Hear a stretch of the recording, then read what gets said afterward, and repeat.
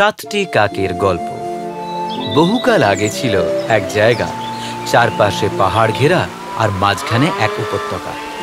ওই উপত্যকায় যেতে হলে নদী পার করে যেতে হতো যেখানে নদীর পারে এক কাঠুরে পাথরের বাড়ি বানিয়ে থাকত। সে ছিল বিবাহিত এবং তার ছিল সাতটি ছেলে এবং একটি মেয়ে। আসছি সবাই তোমরা ভালো থেকো। মাঝে মাঝেই তাকে কাজের জন্য বাইরে যেতে হতো। আর তার স্ত্রী ছেলে মেয়েদের নিয়ে নাজে হাল হয়ে পড়তো। হায় রে ঈশ্বর কি দুষ্টু বাচ্চা রে।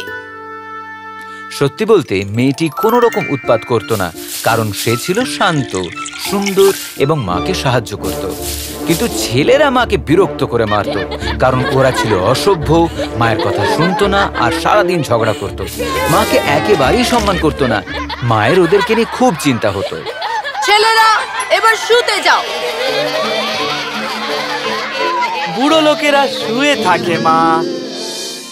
হ্যাঁ। এক সপ্তাহ পরিশ্রম করার পর যখন এদের বাবা বাড়ি ফিরত বেচারি মা তার ক্লান্তি আর কষ্ট দেখে ছেলেদের দুষ্টুমির কথা আর বলতেই পারতো না কারণ সে তার স্বামীকে এর জন্য আর বিরক্ত করতে চাইতো না। ও বেচারি কত পরিশ্রম করে এসেছে। এই সব ছোটখাটো ব্যাপার বলে ওকে আর বিরক্ত করতে চাই না। তাই মহিলা নিজের ছেলেদের এই দুঃখ নিজের মনেই লুকিয়ে রাখে। তবে সে এটা বোঝে না এতে তার ছেলেরা আরও খারাপ হয়ে যাবে। আর শেষ পর্যন্ত সেটাই হয় বাবা যখন বাড়িতে থাকতো না ছেলেরা সেই সুযোগটা কাজে লাগাতো এবং তাদের দুষ্টুমি দিনে দিনে আরও বেড়ে চলল। ছেলেরা অনেক হয়েছে। দাদা মাকে আর বিরক্ত করো না তোমরা। চুপ করো বোকা মেয়ে। ওদের বোন বেশি সমস্যায় পড়তো, কারণ সে দাদাদের খুব ভালোবাসতো, তারা দুষ্টু হওয়া সত্ত্বেও। কিন্তু তার চেয়েও বেশি ভালোবাসতো মাকে। সবার ছোট হওয়ার দরুন কোনো ভাইরাই ওর কথায় কোনো রকম গুরুত্ব দিত না। একদিন এই সাত ভাই সবচেয়ে বড় ঝামেলার মধ্যে জড়িয়ে পড়ে।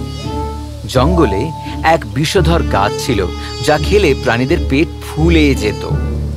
কাঠুরে সব সময় ছেলেদের বলতো, খেয়াল রাখতে ওদের গৃহপালিত পশু যেন কখনো ওই গাছের পাতা না খায়। দুষ্টু ছেলেরা ওই গাছের পাতা ব্যাগে করে ভরে এনে গৃহপালিত পশুর খাবারের সঙ্গে মিশিয়ে দেয়। আমি দেখতে চাই কীভাবে ছাগলদের পেট ফুলে যায়। তখন রোগা হওয়ার বদলে ওরা ফুলে ঢোল হয়ে যাবে।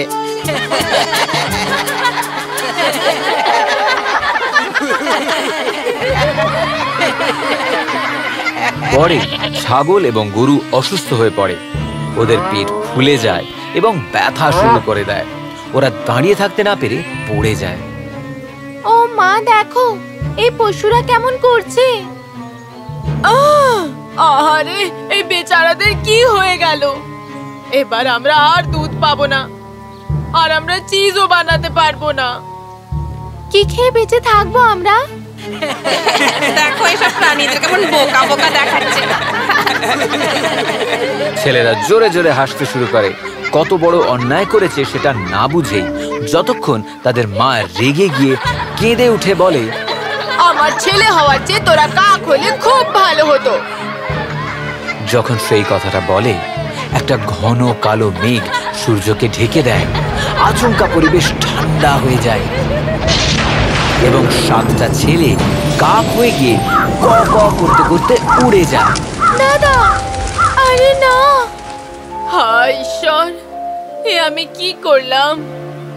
মহিলা এতটাই ভয় পেয়ে যান যে সে অনুতাপের চাপে প্রায় জ্ঞান হারাতে বসেন। ও মা এবার আমরা এখন কি করব?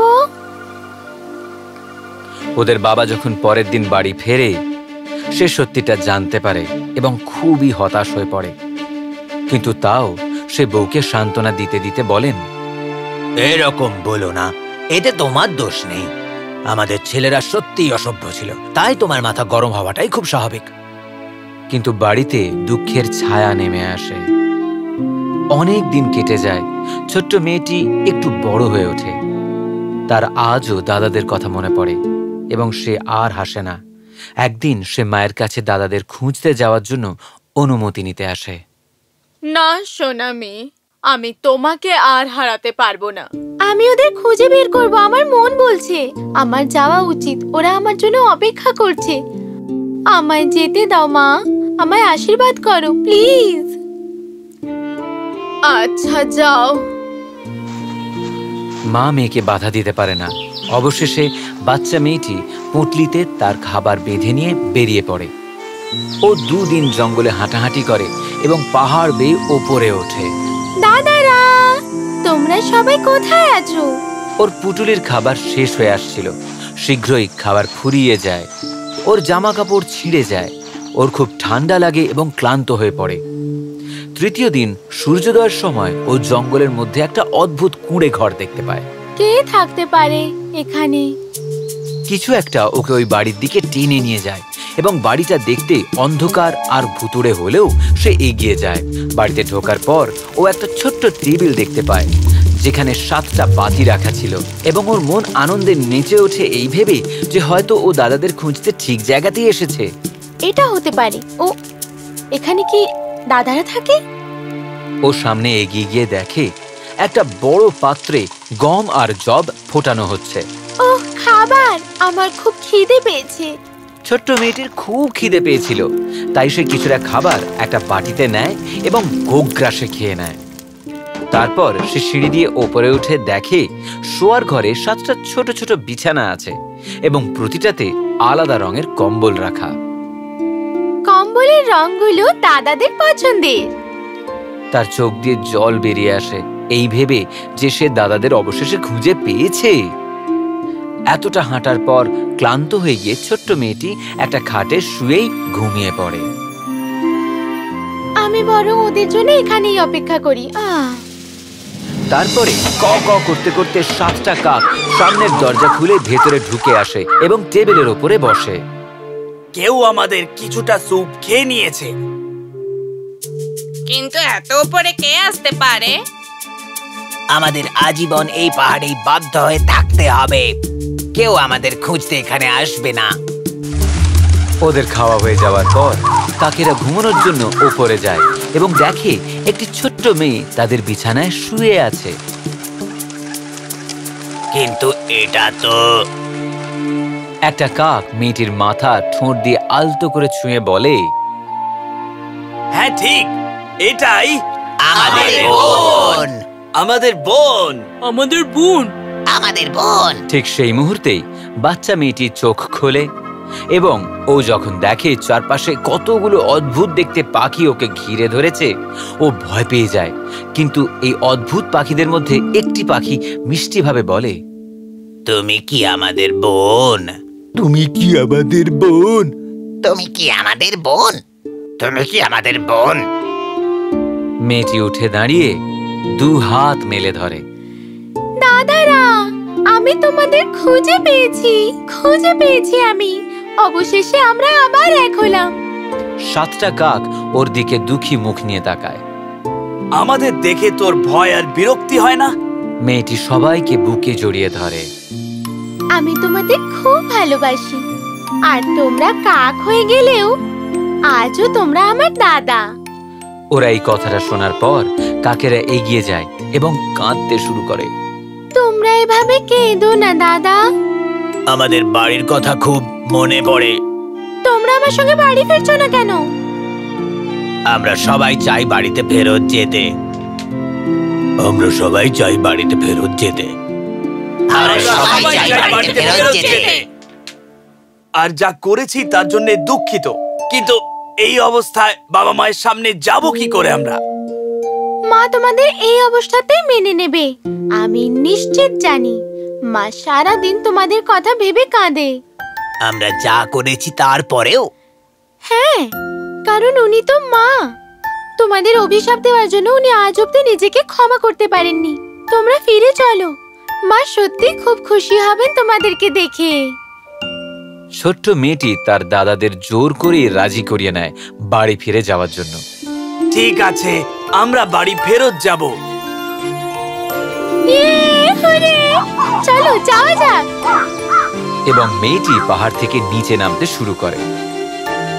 এই পাহাড়ের ওপর নিচ করার কোনো প্রয়োজন নেই তোমার বোন। আমরা তোমায় উড়িয়ে নিয়ে যাব ওখানে। ওরা যখন বেরোতে যাবে তখন সবচেয়ে ছোট ভাইটি বলে এক মিনিট দাঁড়াও আমরা যে চকচকে পাথরগুলো জমা করেছি ওগুলো নিয়ে যাই মাকে উপহার দেব। ও ভেতরে ঢুকে এক ব্যাগ ভর্তি সুন্দর সুন্দর পাথর নিয়ে আসে। বাহ এগুলো সত্যি খুব সুন্দর। তোমার পছন্দ হয়েছে? খুব পছন্দ হয়েছে। এগুলো দামি পাথরও হতে পারে। আমরা কাকেরা যখন কিছু ঝলমল করতে দেখি তখন আর থাকতে পারি না। ওগুলো তুলে নি। আর এইটা দেখো অন্যগুলোর চেয়ে বেশি ঝলমল করছে। হতে পারে এটা হিরে? হ্যাঁ হয়তো। হ্যাঁ দাদা খুব সুন্দর। অবশেষে ওরা বেরোয়। ওপর থেকে পৃথিবীটা একেবারে অন্যরকম ছিল। প্রথমে বাচ্চা মেয়েটি ভয় পেয়ে যায়। আমি পড়ে যাব দাদা। তুমি চিন্তা করো না বোন। আমরা তোমায় পড়তে দেব না। তুমি চিন্তা করো না বোন। আমরা তোমায় পড়তে দেব না। সাতটা কাক শক্ত করে ওর হাত ধরে নেয় এবং নিরাপদে উড়িয়ে নিচে আনে। তারপর ওরা উপত্যকা নদী এবং ওদের ছোট্ট বাড়িটা দেখতে পায় যেখানে ওরা জন্মেছিল। বাড়ির উঠোন একেবারে খালি ছিল। আর মেয়েটি নিচে নামার পর বলে তোমরা এখানেই দাঁড়াও আমি কে মাকে ডেকে আনছি। মাকে অবাক করে দেব। ও চুপি চুপি রান্নাঘরে যায় এবং দেখে মা টেবিলের ওপর মাথা নিচু করে বসে কাঁদছে। ও মাকে জড়িয়ে ধরে আদর করে বলে মা আমি ফিরে এসেছি আর তোমার জন্য কিছু নিয়ে এসেছি। ও আমার সোনা মেয়ে তুই ফিরে এসেছিস। আমি তো ভাবলাম আমি তোকেও হারালাম। মা এতটাই খুশি হয়ে যায় যে বুঝতেই পারে না সে হাসবে তা কাঁদবে। ছোট্ট মেয়েটি মায়ের চোখের জল মুছিয়ে মাকে বাইরে উঠোনে নিয়ে আসে। উঠোনে এসে মা সাতটা কাক দেখতে পায়। এই তো আমার ছেলেরা তোদের কথা খুব মনে পড়ে। তোদের এই অভিশাপ দেওয়ার জন্য আমি খুব দুঃখিত। একজন মায়ের তার সন্তানকে কখনোই এরকম বলা উচিত নয়। না মা ওটা আমাদের প্রাপ্য ছিল। আমরা যা করেছি তার জন্য দুঃখিত। আমরা যে অন্যায় করেছি সত্যি তার জন্য দুঃখিত। আহ আমার পরিবার আবার একসঙ্গে হয়েছে। প্রত্যেকেই অতীতের কথা ভেবে কাঁদছিল। আচমকা আরেকটা আশ্চর্য জিনিস ঘটে। সাত সাতটা ভাই আবার মানুষ হয়ে যায়। হায় ঈশ্বর! দাদা তোমরা আবার মানুষ হয়ে গেছো। বাবা এতক্ষণ ভেতরে ছিল। এবার ওদের আওয়াজ শুনে বাইরে বেরিয়ে আসে। ধন্যবাদ প্রভু আমার ছেলে মেয়েকে ফিরিয়ে দেওয়ার জন্য। বাবা আমরা খুবই দুঃখিত। বাবা আমরা সত্যি দুঃখিত। বাবা আমরা খুবই দুঃখিত। বাবা আমরা খুবই দুঃখিত। ছেলে মেয়েকে জড়িয়ে ধরে বাবা কেঁদে ফেলে। বছর কেটে যায় ছেলেরা আরও অনেক বেশি দায়িত্বশীল হয়ে ওঠে। যে পাথরগুলো ওরা নিয়ে এসেছিল ওগুলো বহু মূল্যবান হিরে মুক্ত বেরোয় এবং সেটা বিক্রি করেই পরিবার সুখে দিন কাটাতে থাকে। Thank you.